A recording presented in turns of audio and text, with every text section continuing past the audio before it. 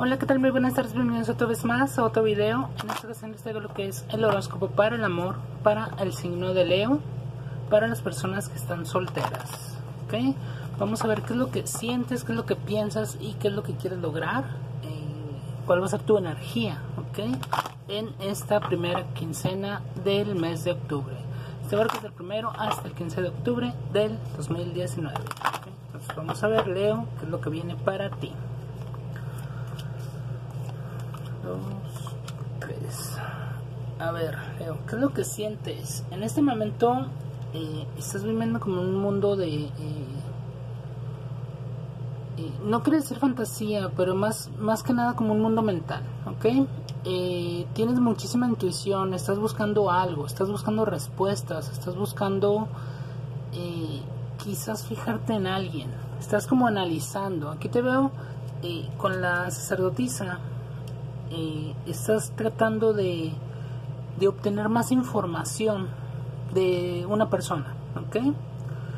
Eh, puede ser de una persona, puede ser de tu trabajo, pero te veo muy enfocado en, eh, de hecho, con las cartas de bastos puede ser que te enfoques mucho en el trabajo, pero también te enfoques mucho en, en personas que sean de fuego, ¿ok? Aquí hay Aries, Leo, Sagitario, que hay un Leo también, quizás un cáncer, eh, puedes estarte fijando en esta persona, ¿ok? Estás tratando de obtener más información, estás como viendo o analizando, sobre todo trabajando en tu mundo interior, que es lo que vemos aquí con la sacerdotisa. Y este trabajo eh, es una cuestión de crecimiento espiritual, porque eh, te lo marca esta carta, ¿no? De la sacerdotisa lo que tú estás sintiendo eh, es quizás eh, una eh, pequeña confusión, vaya, porque no sabes si realmente amas a una persona, si realmente te gusta, si realmente la quieres, ¿no? Estás como un poquito disperso por lo que vemos, por eso estás tratando de aclarar tus sentimientos, si te fijas, la carta de la sacerdotisa tiene una especie de bola de cristal, aquí una especie como de espejo, ¿no? y estás tratando de aclarar qué es lo que sientes por, eh, por una persona o qué es lo que eh, quieres sentir, vaya, o qué es lo que, lo que estás sintiendo en este momento eh, como tú como persona, ¿ok? Si te sientes bien con una persona, si te sientes bien saliendo con esa persona, si te sientes bien hablando con esa persona, ¿ok? Si no te sientes bien, obviamente, pues tienes que analizar el por qué no te sientes bien. El, si te da miedo, si te da nervios. Eh, son cuestiones eh, normales, vaya, de, del amor, del enamoramiento. Pero si realmente descubres que esta persona simplemente no es para ti, pues ya sabes qué hacer, ¿ok?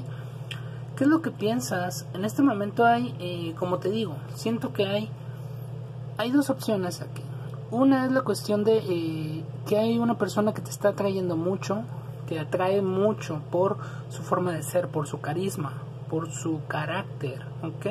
Es una persona muy trabajadora, es una persona muy luchona, es una persona de carácter fuerte, eh, incluso carismático, ¿ok? Es una persona que se ve incluso eh, sexy o, ¿cómo decirlo?, que atrae. Es una persona que viste elegante, que tiene, tiene algo que te está llamando la atención, por eso está en tu pensamiento. ¿Qué es lo que, eh, lo que quieres con esta persona? Eh, yo siento que eh, quieres que esta persona te note. Estás luchando, siento que aquí puede haber un poquito de celos, puede haber un poquito de lucha, porque quizás tú ves a esta persona trabajando con otros alrededor o que tiene muchos amigos o muchas amigas. Tiene, llama mucho la atención por su personalidad, vaya. Entonces lo que tú quieres es que esa persona te note. Y, aquí vas a estar haciendo mucho esfuerzo, te veo un poquito a la defensiva, ¿no? Con, eh, con esas personas, sobre todo con las personas que se acercan a, esta, a, a, este ser que te gusta, ¿no? Que puede ser hombre, puede ser mujer, da igual, ¿ok? siento que vas a estar un poquito celoso y vas a estar tratando de, eh, de llamar la atención a esa persona para que esa persona te note y empezar a pues a salir o empezar a ser un poquito más valiente porque aquí eh, te habla estas cartas de que primero necesitas cierta información para saber si te arriesgas o no te arriesgas con esta persona, ¿ok?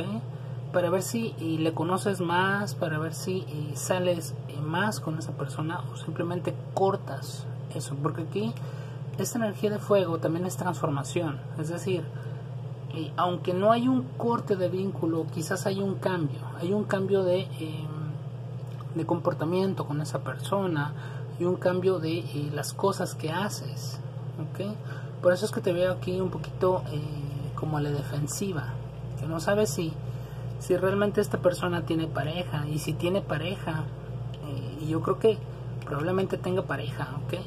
Es lo que estamos viendo porque si te estás si te está atrayendo a esta persona y esta persona se está fijando en alguien más, esta persona es muy espiritual, ¿ok? La persona, eh, este caballero bastos. Como te digo, no, eso es una persona con energía de fuego. Independientemente de su signo, es una persona que es carismática, es trabajadora, es, tiene una energía radiante. Se está fijando en una persona un tanto emocional, que incluso puede ser un, eh, esta persona puede tener un, eh, una pareja con elemento agua, Puede ser un cáncer, está muy marcado el cáncer por la luna, pero también pudiera ser Pisces y también pudiera ser Escorpio. Entonces, estás buscando más información con respecto a esta persona para poder saber si te arriesgas o no te arriesgas con, eh, con él o con ella. Y aquí lo que veo es que pudiera tener, esta persona pudiera tener pareja, pero quizás no te lo ha dicho. Por eso es que lo estás buscando, estás buscando esta información. Si tú no quieres tener pareja y no es el caso que estás... Eh, que estás buscando pareja, vaya, que estás fijándote en alguien, aquí lo que veo es una energía de trabajo, es una energía de tener ideas claras, de buscar la mejor solución, de utilizar tu, tu eh, intelecto, de utilizar tu sabiduría, sobre todo tu sabiduría de experiencias del pasado, aquí está, para poder tomar acciones en tu trabajo. Y aquí y demostrar esta eh, carta del siete de bastos nos habla de demostrar, de buscar tu lugar, de buscar tu lugar en tu trabajo, en tu escuela, eh, con tus amigos y sobre todo de poner límites. Aquí estás busca, aquí estás utilizando tu sabiduría, tu intelecto, porque si te fijas, este eh, báculo que tiene este personaje está encendido. Por lo tanto, esa luz eh, que está teniendo este báculo es tu inteligencia, es tu sabiduría, es tu intuición. Entonces, estás encontrando mejores soluciones a los problemas que se están presentando, ya sea con tus amigos o ya sea que eh, se estén presentando en tu trabajo. Para resolver mejor los problemas, para resolver, simplemente para trabajar mejor. Entonces, te veo enfocado mucho también en tu trabajo, te veo sobre todo que quieres crecer y quieres llamar la atención para que te tomen en cuenta, para que te den una mejor posición, para que te suban el sueldo, para que eh, tú puedas crecer dentro de esa empresa. ¿okay? Entonces te veo mucho utilizando tu experiencia, tu intelecto y eh, sobre todo esas ideas que puedes estar teniendo, eh, muy innovadoras incluso, puedes estar tomando acción para y materializar esas ideas, ¿ok? Entonces, hasta aquí el video, espero te haya gustado. Si te ha gustado, dale like, comparte, suscríbete y nos vemos en el siguiente video. Muchísimas bendiciones y hasta luego.